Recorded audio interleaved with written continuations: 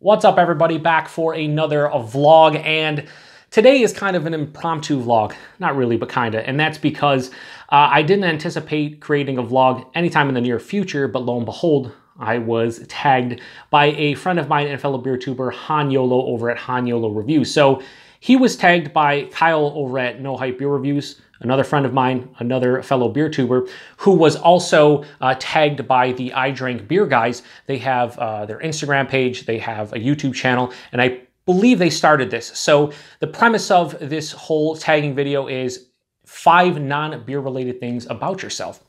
So Kyle did his, he tagged Han, and then Han tagged Brandon over at Craft Beer Pours, Matt over at Massive Beer Reviews, and myself. And when it comes to my channel, I like to keep it mostly beer-centric 99.9% of the time, but I thought this would be pretty fun to do. Now, be forewarned, I'm super boring in general. I'm a boring person. So outside of beer, probably not a lot of things that you guys should know or care to know about me, but I'm try to do the best I can. So I appreciate Han tagging me at the end of this video. I am supposed to tag three other fellow beer tubers, which I will do. So without any further ado, let's get right into the list. So number one is going to be the most personal thing on the list. And I want to mention this to you guys for a couple reasons. I haven't updated you guys on this issue for quite a while now. And on top of that, um, it's been something that I've dealt with my whole life. So first and foremost, number one on the list, I did number two. Number one on the list, I was born with something that they call a bicuspid aortic valve. So a normal person's aortic valve has three leaflets, mine has two. Uh, what the aortic valve do, uh, aortic valve does is regulates blood flow to your aorta. So when you have only two leaflets, it doesn't do such a good job. Uh, since I was born with it, over my lifespan, it's going to deteriorate to the point where at some point in the future, and maybe even the near future, I'm going to need open heart surgery. And I've talked about this on the channel a few times. And it's something I've dealt with my whole life. Uh, like I said, it's it was something, it was a birth defect. I was born with it. Every single year I get an echocardiogram and meet with my cardiologist. And you know, a couple years ago, uh, actually it was about a year and a half ago now, my cardiologist really said, you know, you got to start thinking about open heart surgery at some point in the near future because you're getting close to, you know, where you're going to need to get it replaced. And that kind of sparked me over the last nine and a half months dropping 50 pounds. So if you go look at some of my earlier videos on my channel from last year, early last year, April, May, I am pretty damn fat. I'm still fat. I need another 25, 30 pounds to uh, drop off my body to get where I want to be. But uh, yeah, I lost 50 pounds in nine and a half months. And it was because of not only a channel, but also because of my condition. And I felt it was time to take it seriously. And if I do get open heart, it's only going to help with the recovery and whatnot. So, you know, you guys commenting uh, in the videos that I've, I've done, you know, last year and whatnot, mentioning my weight loss and just giving me, you know, a lot of positive support has helped me lose the weight, but it's also helped me feel better about myself and, you know, be healthier as well. So I was born with a bicuspid aortic valve. I'm going to need open heart at some point in the near future. And I'm mentioning this not only because it's something that, you know, you might not know about me, but it's also uh, something that might affect the channel at some point and uh, it's definitely going to affect my lifestyle once I need open heart. So I uh, just thought I'd throw that out there for the first one. And uh, now we'll go with more uplifting and positive, maybe positive things on the list. I don't know. We'll see. So number two, um, if you have pretty much watched the channel, uh, you know that I am a huge, absolutely huge sports fan, uh, sports junkie. But even though I watch a ton of different sports, I don't watch every single sport, most of them. Uh, there are two that, for me, I follow pretty much all the time. When they're in season, when they're out of season, doesn't matter. And that is pro football and pro hockey. So the NFL and the NHL. Obviously, I'm a huge Buffalo Sabres fan living here in the Western New York area, in the Buffalo, New York area. I love the Buffalo uh, Sabres. When it comes to football, though, I am not I am a Buffalo Bills fan, but they're not my favorite team. And that might sound kind of weird, but when I was growing up, I really was fixated on individuals in sports. So I love Deion Sanders because of his speed and kind of his attitude and stuff. Well, it was, it was kind of funny. He was always interesting. Um, and I just loved fast players. It didn't matter if it was football or hockey or whatever. And in 1995, uh, the Seattle Seahawks drafted Joey Galloway, who went to the Ohio State University. And I really like Joey Galloway, so I was like, I'm just gonna follow the Seahawks at this point. Up to that point, I like I said, I liked the Bills, but I wasn't a fan. Like I would root for them, like when they went to the Super Bowl. Sure, I wanted to see them winning out, but I, I didn't consider myself like a fan of them. I just kind of liked whatever team Deion was on, and just I just followed football in general.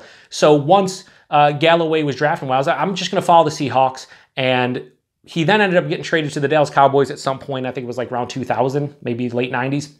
But I stuck with the Seahawks, and I stuck with the Seahawks because at that point I was, you know, I was vested in them. I, you know, I was following them for four or five years at that point. I was like, I'm just gonna be a fan. So I'm still a fan of the Seattle Seahawks to this day. I've been a fan for about 24 years now. And uh, yeah, so I'm a Seahawks fan. I still like the Bills. I want to root for them. They're like my second team. I want to see them still succeed unless they're going against Seahawks. And then I love the Buffalo Sabres. But I love all sports.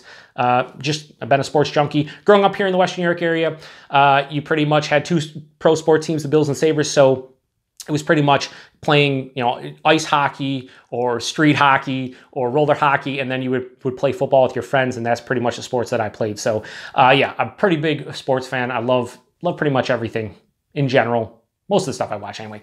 Uh, so number three, um, to kind of you know piggyback off number two, I love the Western New York area, the Buffalo, New York area, and that might to you guys that would be like, well, what's special about there? Whatever. I love the area I live in. Well Buffalo in general gets kind of I don't know, it gets a bad rap when it comes to national media. Everyone talks about, you know, how terrible the weather is here and just, you know, when it comes to the sports teams, how bad they are. The Bills lost four Super Bowls. Uh, a lot of times when it comes to free agency in those sports, they always are like, oh, why would you ever want to go to, why would you pick Buffalo over New York City? You know, you know, it's, well, it's comparing apples to oranges, but there are a lot of people who do pick Buffalo over New York City. There are people who pick Buffalo over a lot of other places. A lot of athletes end up retiring in Western New York because it's a great place to raise a family. All the people here are, well, not, I can't say all, but most of the people here are really super nice. Uh, you're really close to the Canadian border. Uh, within a four-hour uh, four-hour drive, you can hit up Toronto, which has millions of people, different cultures, fantastic. You can go to Detroit, you can go to Cleveland, Pittsburgh. There's a lot of different places you can explore, uh, basically on a day drive. It's just a really nice area. And on top of that, uh, Han in his list, he talked about how he liked warmer weather. I like cooler weather. Fall is probably my favorite season. Now, as far as the seasons go in Western New York, are they are, are they all great? No, winter you know, sometimes it sucks. Sometimes it's crazy cold. Sometimes you do have, you know, two, three feet of snow on the ground, but that gets kind of overblown in the national media. Uh, fall here is beautiful. Spring here is beautiful. Summer's, you know, really hot if you like it hot. It's a little bit too humid for me, so summer's not my favorite in Western New York, but you get four unique seasons. I couldn't really picture myself living anywhere else. I do like traveling and whatnot, but this is home. This is probably where I will always call home, and I love it here. So, uh, yeah, I love the Western New York area. I love the Buffalo, New York area, and uh, yeah, it gets kind of a bad rap in the national media, and a lot of people might look down upon it. Eric Gilbert, look at you. Rochester, New York's terrible, whatever. Listen, a lot of great people here, a lot of good stuff going on. So, I love this place. Number four, uh, this is gonna, I might lose some subscribers here. I might, people might look down at me, but I am a wrestling fan okay? And I've been a wrestling fan since I've been like five years old. I remember going over uh, Average Pops. He had a friend that uh, got the pay-per-views back in the mid-'80s.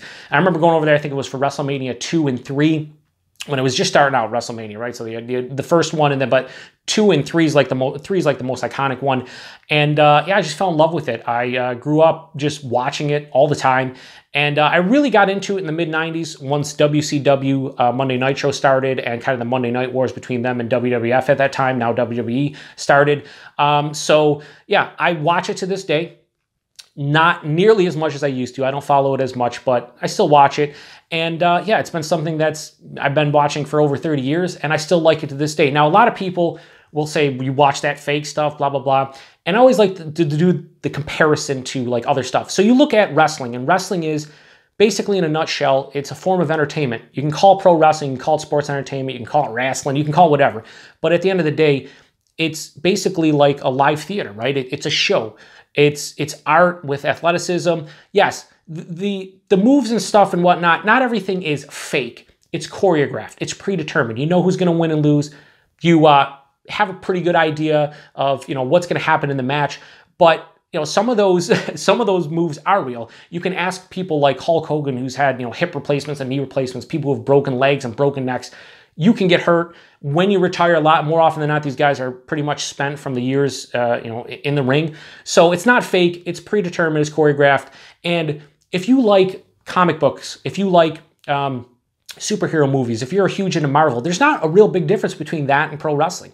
Um, comics, somebody wrote, somebody created those characters. They all of a sudden are now on the big screen. Marvel movies are, are just crazy, but none of that's real. You're watching a two hour movie of characters that were created. The stuff on the screen isn't real. So what's different? What is the difference between that and, and wrestling? Not much. It's all the same. Uh, superhero movies not frowned upon, wrestling frowned upon. But whatever, at the end of the day, I like pro wrestling. I'm not going to apologize for liking it, and I'm probably always going to like it. I'm going to be 80 years old and still watching pro wrestling, and it is what it is, but I enjoy it. I know Sean over at Nerd Sense and like a good friend of mine and former beer tuber Lee Russell, he really likes wrestling. So I know there's other beer tubers that like wrestling. So come out of come out, come out of the shadows. Just let it be known. It's okay. We'll, we'll survive together. Uh, and the last one, the fifth and final um, non-beer related thing about myself I love comedy, whether, and I know a lot of you, again, it's gonna be like, I love comedy too, but I, I love all kinds of different comedy, but uh, I probably like some comedians that maybe you don't, or maybe that you kind of forgot about or whatever. I grew up obviously in the 90s as a teenager and whatnot. And I loved SNL back then. So Chris Farley um, and uh, Phil Hartman and Adam Sandler. I'm talking Chris Farley, you know, Tommy Boy and Black Sheep. Tommy Boy's a classic movie. You guys know I have the Callahan uh, auto shirt that I wear occasionally. I've watched that movie over a hundred times with my niece. She absolutely loved it. And I love Chris Farley. I wish he would have passed away. I'm sure he would have made some really, really amazing movies. And uh, Adam Sandler back in his prime, the Billy Madison, Happy Gilmore, um, you know, Wedding Singer, pretty much like 95 to 98. He had some great uh, comedy albums that were just absolutely phenomenal and hilarious to this day. Just absolutely great. I know a lot of you look at Adam Sandler nowadays and you're just like, wow, Adam Sandler, really? Back then, he was fantastic. Also, Dave Chappelle, one of the one of my favorite comment uh, uh, comedians of all time. Uh, Chappelle Show. If you really sit back and think about it, Chappelle Show has been off the air for over 15 years, around 15, 15, 16 years. And the amount of memes and quotables that we still use to this day is unreal. And that show only lasted two seasons. They had the third season without his like consent. Just absolutely amazing show. Uh, my favorite my favorite comedian nowadays is probably Bill Burr. Uh, I love his stand up, I really like his podcast, and I like his uh, animated Netflix show, F is for Comedy, or F is for Family, F is for Comedy, F is for Family, fantastic show as well. Bill Burr, I just, I love when he gets on a rant and stuff. I just can't stop laughing. And that's the one thing about comedy in general. Whenever I've ever felt down or, you know, just having a shitty day or just kind of bored or whatever, I throw something on and I'm laughing my ass off and everything is right with the world again. So comedy has always been there for me and probably always will be. So yeah, that was five non-beer related things about myself. Um, I know I went crazy personal to begin with, but then I kind of went into other hobbies and whatnot. So yeah, it's kind of fun to do. So appreciate you tagging me, uh, Han. I, I, did enjoy it. I didn't think I enjoyed as much as I did, kind of just sitting here, you know, talking off the top of the dome piece. I don't have any notes or anything. I just kind of remembered everything off uh, the top of my head, and uh, I think it went okay. But anyway, three people I'm going to tag. So I'm friends with a lot of beer tubers in the US, in Canada, in the UK. So I'm going to tag one from each country. So we're going to start off in Canada, and the guy I'm going to tag is my buddy, my good buddy, Chris over at Off the 10th. I want to see uh, what he says. He's very creative. I know he has a lot of different hobbies and stuff, so it'll be interesting to see what he says about uh, himself because uh, I know everybody out there is dying to know. I know I am anyway, so gonna tag Chris and shout out to him. Uh, the other guy, across the pond over in the UK, it will be Craig, or as some people like to refer to him as Greg, over at Kent Beer Reviews. Uh, Craig is very reserved, quiet for the most part, you know, so hopefully he opens up here. Just lets us know a little bit about himself. Maybe, I hope so. So I'm going to tag Craig and shout out to his channel as well. And last but not least, I'm going to tag somebody that I know absolutely does not want to be tagged, and that is my good friend and fellow beer tuber, Paul over at PA Brew News. Paul hates being tagged, but you know what? It's got to be done, Paul. It's got to be done. And I know he's going to do it live and it's going to be, he's going to complain the whole time he's doing it, but it's still going to be awesome because Paul is one talented mother effer. He just, his paintings and just the stuff that he's into, like the music and, you know, he loves movies and stuff. So it should be a good list from him. So I'm going to tag him as well. So Chris over at Off the 10th, Craig over at Kent Beer Reviews, and Paul over at PA Brew News. All three of those guys are being tagged. And uh, yeah, appreciate everybody. Let me take a sip of this delicious Kolsch. So yeah, I appreciate everybody stopping by for another vlog. It's been a while since we've done one of these tagged videos, and uh, I enjoyed it. So appreciate everybody stopping by. And until the next vlog, and, and one, one last thanks to Han for tagging me. I do appreciate it, buddy. So take it easy, everyone. Cheers.